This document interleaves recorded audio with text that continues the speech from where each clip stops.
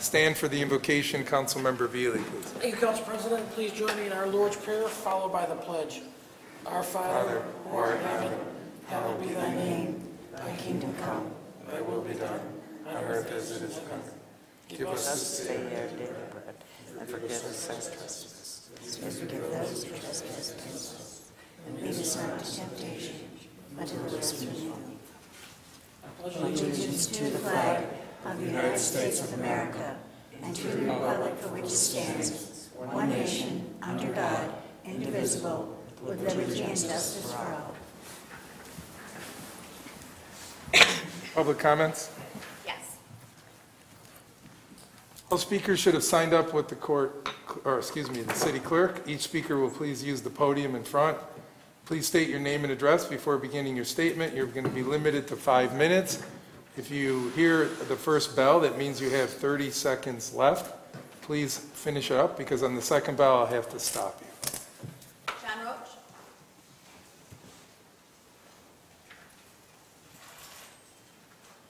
John Roach, 116 Grandview Terrace. Uh, I just wanted to ask a question. Uh, Is there anything new on that rocket car? Uh, I was talking to some people today about that. You know, the city going to find some place to keep it. We haven't heard much about how the restoration or where it is or anything else for a while. Kind of got curious about it. Thank you. Bill Boyd? I can answer. We'll wait till the end. Go ahead.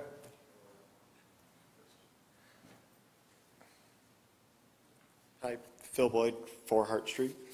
Um, I mapped out, I was up here, I don't know, You two talked weeks ago. about the, uh, Disc golf course. Right, right. So I went out and I mapped out the actual course and everything, only using up about two-thirds of the park. And I have how far every single hole will be, everything is all mapped out, and I have prices for how much a sponsorship will cost, and everything along that. So now I'm just looking for it to actually be brought up as an agenda, so it can be Yeah. I, I would suggest you turn all that over to the city manager, and then when she can find the time on the slot, and, you know, check our resources at the same time, because we're going to have questions on our end, Mm. and then she'll put it on the agenda, and we can just go from there. Okay, so that's it now? Yeah, that should be, I mean, Okay. yeah, that's, that's where you start. I would, you don't have to come back here every Monday, because our meetings are not always every week. You can do business directly with the city manager from now on, and she'll report it to us. All right, thank you. Yeah, you're welcome. Thank you, thank you, that's great. Anyone else? Doug Forsythe? Uh, Doug Forsythe, 25 Union Square. I didn't understand the premise of this meeting, so I'm, I'm just here to support Phil with the disc golf. Yeah. So, yeah. I think So- it seemed to be very popular. I got a lot of positive response. Yeah, yeah, like I, I heard about it through the, um, uh, the Batavian, and I saw him the other day, and I was like, hey, I'm, I'm here to help, so I'm just here to help him. Uh, so, you know, so far we've secured, uh, some funding, and, and we've got a lot of support through, uh, everyone I've talked to so far, so. All Deal directly with, with Rachel, and then Yeah, she'll wonderful. make sure that we get all the information. All right, sounds good. Thank you. All right, bye. Anyone else? Luis Ortiz? Hello? Hi, uh, Luis uh, Ortiz, I'm from 35 Spencer Court. I'm on board with them, just, so I All right, support it He's also. going to need help to get this thing going. The more go. help, the better. Yes, good, it is. Thank you. Anyone else? Lynn Geisler? Hello, I'm Lynn Geisler from 43 and a half Washington Avenue. Um, I'm just here tonight, I'm concerned about the neighborhood. Um, I've been over there four years. I understand it's a different neighborhood. I'm on the corner of Washington and Willow. There's been a lot of criminal action over there, um, a lot of police department. The last week has been horrible. I've been literally up at 5 AM, literally sleeping at 1 AM. The whole neighborhood, the police show up. There's got to be some way that I, like I said, I don't know. I was going to go up to the police department to talk to chief police. They're not letting anybody in. I figured I'd come down here to talk, to see, because there is a lot of things going on, and it has to be taken care of. Eh, I- My safety, I mean, I'm 52 years old, I have health issues, I went through brain surgery and everything else. I realize it's a drug situation over on State Street, I understand that.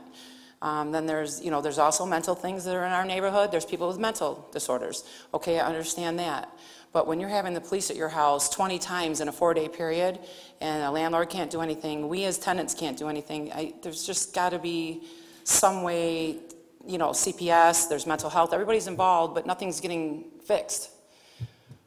So I guess I just wanted to bring that forward, so, And- And I'll advise you, you know, maybe there's restrictions what you can call. Okay. Make an appointment, or call and talk on the phone. Okay. And call the chief directly. He's sitting right there. So if you want to maybe That's touch base with him definitely- and set up a time to come Definitely. and explain, and then he could get preparation on what you're talking about and all the calls for service. Okay. He can put that together, and you guys can work this out. Right, okay, thank you very much. You're very welcome. Thank you. There's no other speakers, but I do have a letter to read. It's from Assemblyman Hawley. It was um, addressed to Councilperson Christian. Thank you for writing, expressing your concerns relative to the disastrous and dangerous 2019 bail reform. I couldn't agree with you more.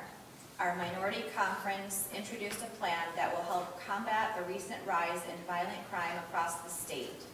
Major cities like New York City, Albany, Syracuse, Rochester, and Buffalo have all seen a rise in crime in the first four months of 2021. New York City has seen a 17% increase in murders and an 83% increase in shootings compared to 2020. Meanwhile, homicides are up 50% in Syracuse and 100% in Rochester. In Albany, rapes, aggravated assaults, and robber- robberies have each reportedly seen a 15% increase. The conference attributes the state bail and discovery laws enacted in 2019 as the reason for the increase in crime, stating the laws allowed criminals to reoffend after being released when previously they would have been held in jail on bail. Our conference states that such policies were enacted without engaging important stakeholders like our law enforcement, district attorneys, judges, crime victims, and their families. Alarmingly, the state parole board continues to irresponsibly release dangerous individuals from prison and back into our communities, including murderers and rapists. The conference will continue to advocate against reckless parole reform bills where criminals are being released. We are now seeing elder parole, which would allow automatic parole hearings if an individual served 15 years of their sentence and reached age 55, regardless of the crime and sentence they received. The following legislation is included in the initiative. Restore judici- judicial discretion. Restores judicial discretion to allow judges the ability to determine whether a violent criminal poses a dangerous threat to the community and can be held without bail. Bail for gun crimes. Removes all gun crimes from the no bail list of offenses Democrats established in 2019. Parole reform requires a unanimous vote of at least three parole commissioners to grant a prisoner early release. Also allows a board, a majority vote of the legislature to remove a commissioner from the parole board. Three strikes and you're in. Authorizes life in prison without parole for persistent violent felony offenders. Shooting into crowds. Makes it a Class B violent felony to fire into a crowded space with the intent to harm. Additional five years for possession. Provides for an additional five-year term of imprisonment for committing a felony while possessing a loaded firearm. Bail for hate crimes. Makes a hate crime a qualified offense for purposes of bail issuance and denying pretrial. With these common sense but important reforms, we can help to rein in the dangerous increase in violence that we are experiencing in our cities and communities across our state. We need to restore order and public safety back into our local communities to protect our families from dangerous and violent crime. I appreciate you taking the time to contact me with your, with your views. Please continue to do so with state-related matters of interest to you. Sincerely, Stephen Hawley. Um, Council response to public comments? Bob, you said you had something on the rocket Yeah, well, the rocket car was in the parade. It was uh, on a trailer. Dick towed it down. It's an old world collision. Uh, 99.5% all the exterior body work's done. The headliners in, the interior panels are done. I think they're waiting now to get a windshield. They have to get a windshield made and some other odds and ends, and it'll be complete. So, John, if uh, we can keep it at your house. There you go. I can just say, An auction tomorrow. There you go, okay. before COVID, we did have a meeting on the rocket car with the Chamber of Commerce, um, Howard Owens from the Batavian, who's interested in it, um, and the gentleman restoring the car, Dick, correct? And there was still a little bit of fundraising to do those last few parts and pieces of it, and we have not established the permanent home or location. Um, They, they want to move it in and out um, consistently to bring it to different shows, so we don't know if City Center would work for that option. Um, We don't really have the ability to do that, so it's still, um, we haven't found a permanent home for it yet. And- And just for people that don't know, the rocket car was built in Batavia. It has nothing to do with rockets, but uh, a fellow by the name of Mr. Thomas lived on Ellicott Avenue, and he went and uh, manufactured this car, I think it was 1948, took it out to Detroit, showed it to Ford Motor Company. They were very impressed. It had independent uh, suspension throughout the entire car, all four wheels.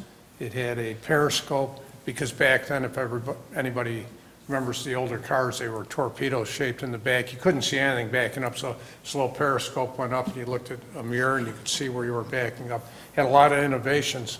The problem was that the auto companies weren't even close to gearing up for something like this, so it was way ahead of its time. It almost got scrapped some years ago. It was cut up in parts. Some of the uh, body was cut through and everything, And then somebody said, hey, we ought to check into this, and it turns out it's a one only. People from all over the country that aren't from around here seem to know about it. So the, uh, Dick, for several years now, has had a lot of people stop and want to see it. Thank you. Any other responses? Go ahead. Yes, um, as far as commenting about Washington Avenue, believe it or not, I got a couple of calls from some people living on State Street, and they were telling me that they do call the police, the police are responding. I also told them, you should contact your landlord. They said the landlords aren't doing anything. I mean, the police are doing what they can, okay? But don't you think, we've got to hold these landlords accountable too, these property owners, about doing something. I mean, you know, these property owners just say, okay, well, you know, the police, well, the police are doing what they have to do. Now the landlord has to take some responsibility. So, yes. Thank you. Yeah, so, I mean, you could make contact and get that started, and then maybe there's some kind of community policing, some additional thing. I mean, it's up to the chief to figure that out, okay? Thank can't evict people now, right? What? You can't evict anybody. I, I don't know, I think the emergency order is coming off pretty soon, so that should mean So everything. landlords are pretty much, hands are tied too. Yeah, Can't I talked evict to my them. landlord, and he, um, he owns a few, quite a few houses here in Batavia. He's, he's actually very nice and very genuine. And he actually said that, um, if he went to evict somebody right now concerning everything that's going on, say it was one of his houses, it would be nine to twelve months before that person would even be out. So in other words, we'd have another nine months to a year for a person that can stay that's doing nothing but causing the whole neighborhood problems. Right, And the police, their hands are tied. I feel, I feel really Oh. bad, like she said, they go there, Yeah. there's nothing, the landlords, the people, they go right up, and like I said, I live right there, so I see it all. Yeah. They should rent my apartment, I was, the police department should, you could probably. well, it's- I, I'm confident the chief is gonna be able to help you out. Oh, yeah, oh, yeah. Oh, the police are doing everything they can. I just want them to know that. Oh, yes, they are. Oh, yeah. Anyone else? Just on disc golf, if I could. Um, Phil was able to come out with myself and Ray and tour. We looked at two different parks, and the preferred park is Centennial. Uh, He's going to, he's got the drawings here tonight. I'm going to review those with the departments and come back hopefully on July 12th with a recommendation to council. Okay, great. Communications? Just one, Royals Barber Shop submitted an application for a kickball tournament on Sunday, July 18th. This was changed to Kibbe Park, um, 9 AM to 8 PM because of conflict in Williams Park. There were already reservations there. So the update on that is Kibbe and not Williams. Correct. Okay. Any questions on that? That's all. The next city council business and conference meeting will be held Monday, July 12th, 7 PM, City Hall Council Boardroom, second floor, City Center. Um, I want to take this time to thank Fire Chief Steve Napolitano. As you know, he's been, he's accepted a position as Deputy State Fire Administrator, and um, He's been with the city of Batavia four years. He's done an excellent job. I've known and seen his leadership in action, and and he's done an excellent job with the department, well-respected in our community. Um, And I wish him well in this new job, which is technically a division of Homeland Security. Um, So hopefully we'll be seeing you back and helping out in our area. And I wish you all the best. And Rachel, I guess you have a few things you'd like to say? Yeah, I'd just like to thank um, Steve for your service to the city of Batavia. Um, I've only had the pleasure of working with you for about two years, but they've been great years. You really are a true leader with your staff, and everyone here is a testament to say thank you. So at this time, I'd like to thank you.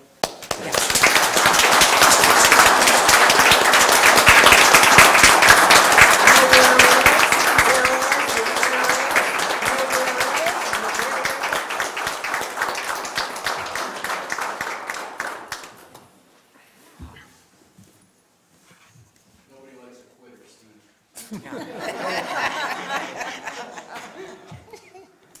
just like to thank the, uh, the board, uh, for years ago, giving me the opportunity, uh, to serve the city. Um, It has been an absolute honor, a pleasure.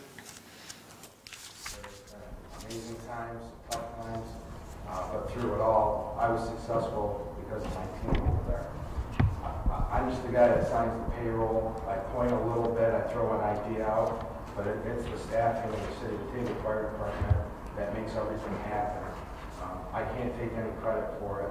They allowed me to come in here four years ago, um, didn't know anything about me, uh, a transplant from 175 miles away.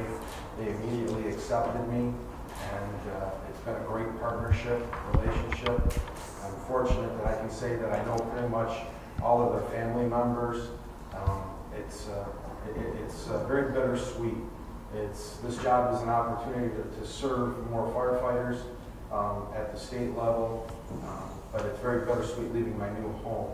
And uh, I I hope in my new position, I'll be traveling uh, a lot across the state, and I'll be stopping back in. Um, Some people have asked me, uh, is your numbers going to change? I I- don't think so. Uh, So, you know, I'll still be in touch with everyone. Um, I also, if I could take a moment, I'd like to thank Chief Heubusch, uh, Ray, Rachel, um, Matt's not here tonight, Jimmy Ficarella. Uh, These are the people that welcomed me into the city four years ago and uh, allowed me to grow, uh, gave me a lot of guidance. um, You know, and then all the other department heads and other city employees. So it- it's been an absolute pleasure and an honor, and, uh, and I thank everyone. Thank you.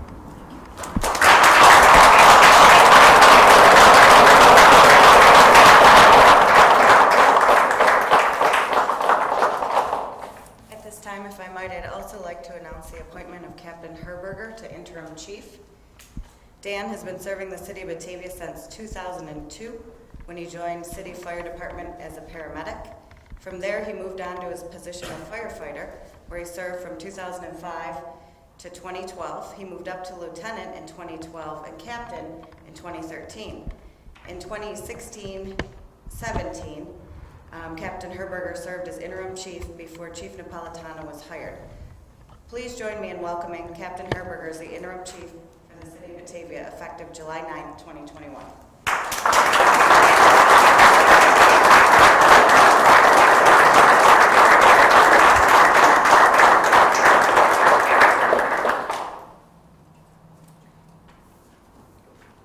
Okay, Thank you, Council President. you're welcome.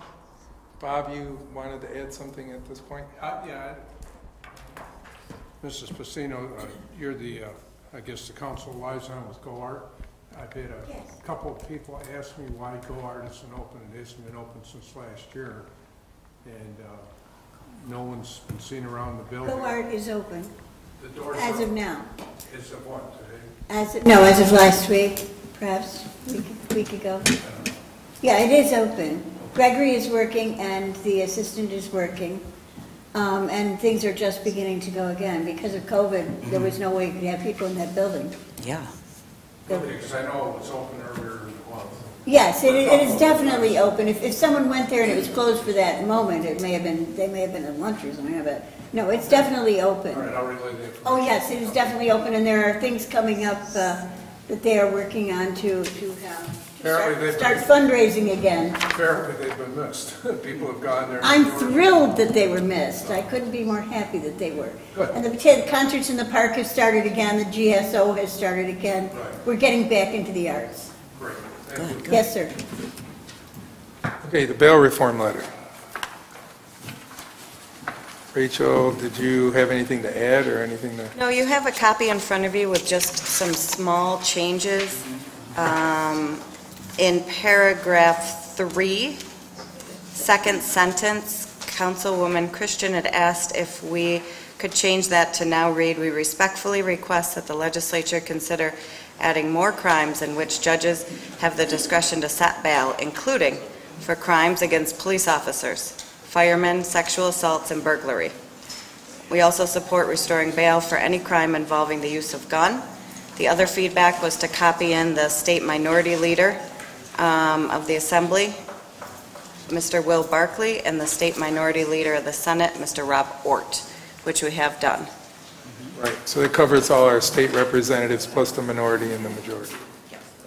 Anybody have any concerns or questions? on this? Go ahead. Well, I want to thank Bob because he's the one that suggested that we send it to the, uh, the State Assembly and the majority leader and the other majority leader. And I have to thank Kathy because I called her concerning this, and I called most of you uh, concerning this, and I wanted uh, letters to go out to the 13 towns, and she suggested that we send it to the legislator and let them send this letter over to each of the towns. It's got some teeth in it now, and by us passing this, and not just by one person, not by just me, this whole board is very important, and it'll show some credence to the fact that we really mean business, and maybe other councils, maybe other towns will follow, and we might be able to change this law now. I, I would suggest, Mr. President, that uh, uh, we just forward the letter to GAM and then let them disperse it to all the members. I think that's a great idea. That would be the easiest And we'll way. do it in a Word document, so if they'd like to modify it, they can easily. They can use it for their own purposes, Yeah, whatever. Yeah. Any, any other comments or questions on that? So, uh, George, I'm under the impression we're just sending a letter, it's not like an official action. Do we need to make a resolution on this, or how does that work? I think it's just a- an expression of the council's perspective on the issue. And then we will all individually sign this after the meeting. It's all right here, we We can, have three copies, official copies for you to sign that we will pass around at the end of the meeting. right. Okay. So, a- as it written, I think it looks good. I think that little addition kind of ties it up, and then we, we have a way to disseminate it. So, if, if that's okay, we'll just, we'll do that after the, uh, the final meeting. Okay? Good, yeah? Thank Um, Consolidated funding application for the block grant Jackson Street Water. Thank you, Council President.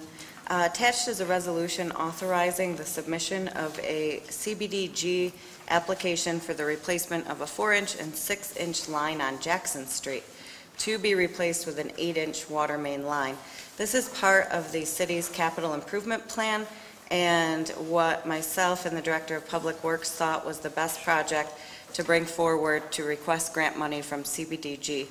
As you can see on the memo, we've had CBDG grant funding in the past, and the last time was in 2017 for the Brooklyn Water Project.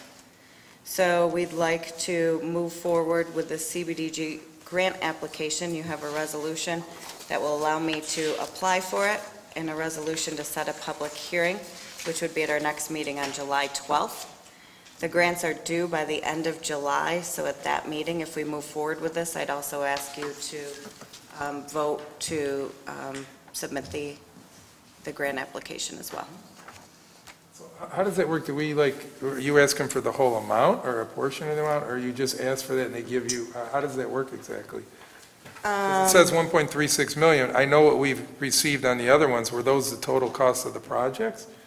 Or were those the amount of grant we received towards the No, that's, that's a great question. I don't think it's the entire amount. I didn't think there's it was. I still a think that you- percentage, and I will that up and let you guys know what the percentage is when we apply. So right now, we're just authorizing the application to, the resolution to apply. And then we'll know more information when we apply and whether we accept the grant or not. Usually, it's a large portion of the project, Yeah. 80 to 90 percent. That's what I percent. thought. I knew there was some, it wasn't a full. It's definitely worthwhile if we do get the CBDG grant um, to be able to sustain sewer and water projects for the Right. city. Right. Okay, any questions or concerns on that? So we in consensus to move that to tonight's business meeting because it's a time-sensitive issue and we'll never cover it by the middle of next month. So we're in consensus to do that? Okay, that moves over. The public hearing, Public hearing is for the same matter. It is required for all CBDG applications. Uh, Council may remember, we did one very early in the year. um, That was for a late 2020 funding round for the Cohocton water main. However, uh, when we got deeper into the application process, we realized that the entire city didn't qualify on low to moderate income per the latest numbers. Um, So we had to abandon that application, and that's why we're moving forward with this one. But we do need another public hearing for CBDG. So by, so that'll go tonight's business as well, so we can schedule the public hearing and give us, and then the grant, and so it'll all line up so we can have that information. That's correct. Thank you. Any questions or concerns on that? So we in consensus to move that to tonight's business? Yes. Okay, motion to adjourn? Mr. Canale? Seconded by Ms. Christian? Call the roll, please. Councilmember Canale? Yes. McGinnis? Yes. Briggs? Yes. Christian? Yes. Bialkowski? Yes. Jankowski? Yes. Neely? Yes. Casino? Yes. We now, uh, I now call to order the special business meeting. Um, I'll give out the agenda items right now. 50, 2021, the revolving loan, Mr. Canale. The uh, community development block grant, 5121, Briggs. And 52, 2021, the public hearing, Mr. Viele. Um, Mr. Canale, if you'll start us off, please. Thank you, Council President. I move a resolution authorizing the Batavia revolving loan fund grant award and authorizing execution of a participation agreement. Seconded by Mr. Bialkowski. Any concerns, questions? Call the roll, please. Councilmember Canale? Yes. McGinnis? Yes. Briggs? Yes. Christian? Yes. Bialkowski? Yes. Jankowski? Yes. Neely? Yes. Casino? Yes. Okay. Ms. Briggs, 51? Yes, thank you, Council President. I move a resolution to support the submission, A, Community Development Block Grant, Consolidated Funding Application for Jackson Street. Seconded by Mr. McGinnis. Questions or concerns? Okay, call the roll, please. Councilmember Briggs? Yes. Christian? Yes. Bialkowski? Yes.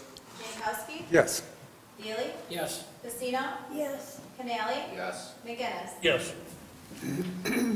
And 52, 2021, Mr. Viele, please. Thank you, Council President. I move a resolution to schedule a public hearing to provide information to the public on the Community Development Block Grant CDBG program. Seconded by Mr. Christian. Any questions or concerns on that one? Call the roll, please. Councilmember Neely? Yes. Casino? Yes. Canale? Yes. McGinnis? Yes. Briggs? Yes. Christian? Yes. Bialkowski? Yes. Jankowski? Yes.